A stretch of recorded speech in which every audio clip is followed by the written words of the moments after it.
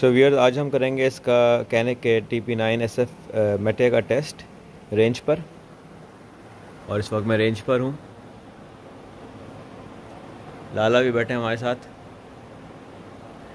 और आज हम दो दो बुलेट्स जो है वो सारी एमओ के लोड कर रहे हैं।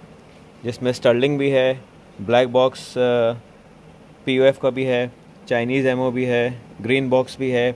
बर्नॉल रशियन भी है और पी का जो पुराना इसमें जो आता था ब्राउन बॉक्स में वो भी है। इसके अंदर मेरे पास टेन बुलेट्स मैंने लोड किए हैं सारा मिक्स एमओ है और मैंने पेपर पे लिख भी लिया है कि कौन सा किस नंबर पे सीरीज़ पे क्या कौन सा एमओ डला हुआ है। सो so, वीयर्स हम स्टार्ट करते हैं टेन शॉट्स करेंगे। देखते हैं कि क्या प्रोग्रेस हुई है after one week of exercise जो हमने एक्सरसाइज की है। सो so, जो हमने एक्सरसाइज की मैंने आपने मेरी पिछली वीडियो में देखी होगी कि मैंने दिन में एवरी डे एक घंटा पिस्टल को रैक करके रखा है और उसके बाद इसको एम्पल ऑफ़ टाइम्स जो है स्लाइड को हमने रैक करने की प्रैक्टिस की है। और उसके वो बुलेट्स के साथ भी हमने यही वाली प्रैक्टिस की है। सो so, अब हम इसको शूट करके देखेंगे और पर्पज़ ये है कि ब्रेक इन विदाउट शूटिंग होती है या नहीं होती है।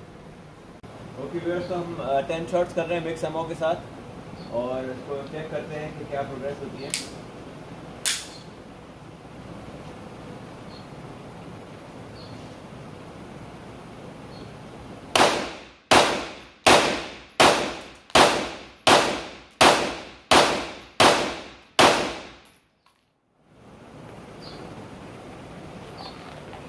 भी सही बना।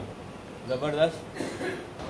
एक्यूरेसी भी हो गई देखें, ये रैपिड फायर किए तो पिस्टल ने माशाल्लाह से बेहतरीन परफॉर्म किया है सारा मिक्स एमओ के साथ। इसके अंदर पाकिस्तानी रशियन टर्किश और पीएफ के तीनों ब्रांड थे ग्रीन बॉक्स ब्लैक बॉक्स टर्लिंग तो सब कुछ इसने मिक्स करके जो है वो शूट किया और रैपिड फायर थे।